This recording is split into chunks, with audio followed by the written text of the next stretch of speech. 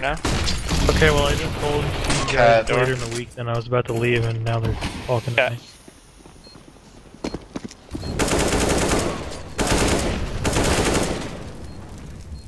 Okay. Cat.